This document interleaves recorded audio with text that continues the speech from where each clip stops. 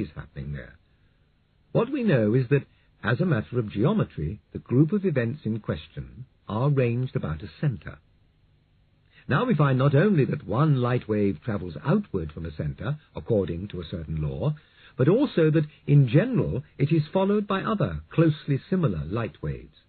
The sun, for example, does not change its appearance suddenly. If a cloud passes across it during a high wind, the transition is gradual, though swift. In this way, a group of occurrences connected with a centre at one point of space-time is brought into relation with other very similar groups, whose centres are at neighbouring points of space-time. If we are to avoid unnecessary hypotheses, we shall say that an atom at a given moment is the various disturbances in the surrounding medium, which in ordinary language will be said to be caused by it. But we shall not take these disturbances at what is for us the moment in question, since that would make them depend upon the observer. We shall instead travel outward from the atom with the velocity of light, and take the disturbance we find in each place as we reach it. The closely similar set of disturbances, with very nearly the same centre, which is found existing slightly earlier or slightly later, will be defined as being the atom at a slightly earlier or slightly later moment.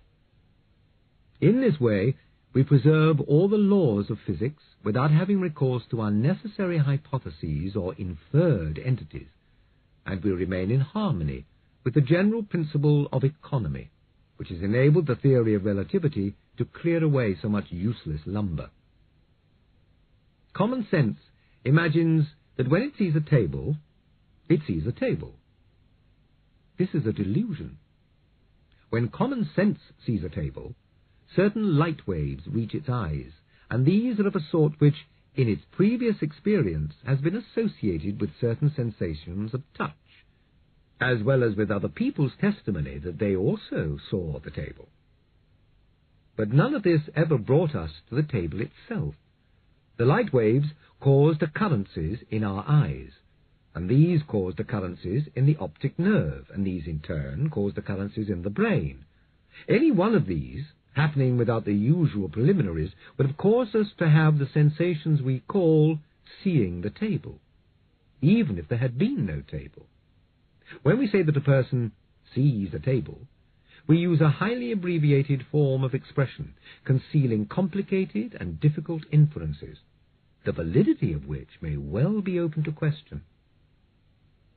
Everything that occurs elsewhere, owing to the existence of an atom, can be explored experimentally, at least in theory, unless it occurs in certain concealed ways. An atom is known by its effects, but the word effects belongs to a view of causation which will not fit modern physics, and in particular will not fit relativity. All that we have a right to say is that certain groups of occurrences happen together, that is to say, in neighbouring parts of space-time. It seems very clear that all the facts and laws of physics can be interpreted without assuming that matter is anything more than groups of events, each event being of the sort which we should naturally regard as caused by the matter in question. This does not involve any change in the symbols or formulae of physics. It is merely a question of interpretation of the symbols. This latitude in interpretation is a characteristic of mathematical physics. What we know is certain very abstract logical relations, which we express in mathematical formulae, we know also that at certain points we arrive at results which are capable of being tested experimentally. Take, for example, the astronomical observations by which the predictions of relativity theory as to the behavior of light were confirmed.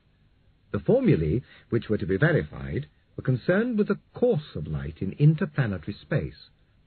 Although the part of these formulae which gives the observed result must always be interpreted in the same way, the other part of them may be capable of a great variety of interpretations.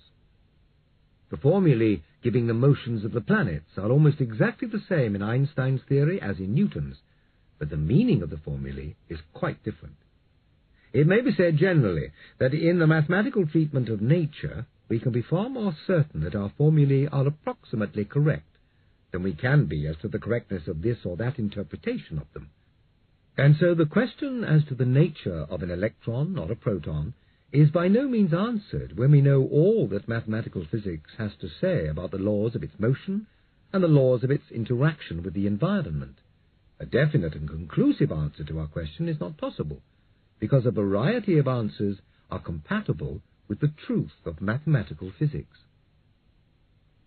That may seem astounding, but the philosophical consequences of relativity are neither so great nor so startling as is sometimes thought.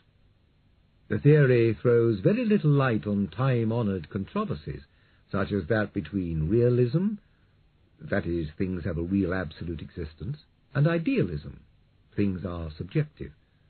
Some people think relativity supports Kant's view that space and time are subjective.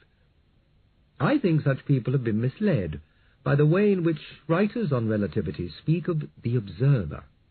It is natural to suppose that the observer is a human being, or at least a mind.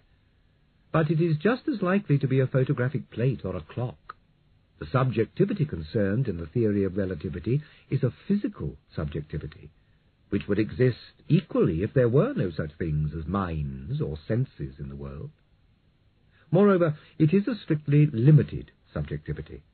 The theory does not say that everything is relative. On the contrary, it gives a technique for distinguishing what is relative from what belongs to a physical occurrence in its own right. If we're going to say that the theory supports Kant about space and time, we shall have to say that it refutes him about space hyphen time. One thing which does emerge is that physics tells us much less about the physical world than we thought it did.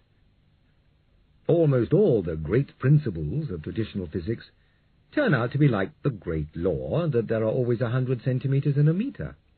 Others turn out to be downright false. The conservation of mass may serve to illustrate both these misfortunes to which a law is liable.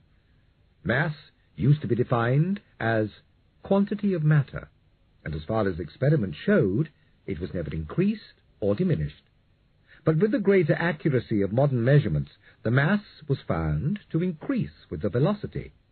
This kind of mass was found to be really the same thing as energy. This kind of mass is not constant for a given body. The law itself is a truism. It results from our methods of measurement, and does not express a genuine property of matter. The other kind of mass, which we may call proper mass, is that which is found to be the mass by an observer moving with the body. The proper mass of a body is very nearly constant, but not quite. One would suppose that if you have four kilogram weights and you put them all together into the scales, they will together weigh four kilograms. This is a fond illusion. They weigh less, though not enough less to be discovered by even the most careful measurements. Go down to the atomic scale, however, and as we noted, when four hydrogen atoms are put together to make one helium atom, the defect is noticeable. The helium atom weighs measurably less than four separate hydrogen atoms.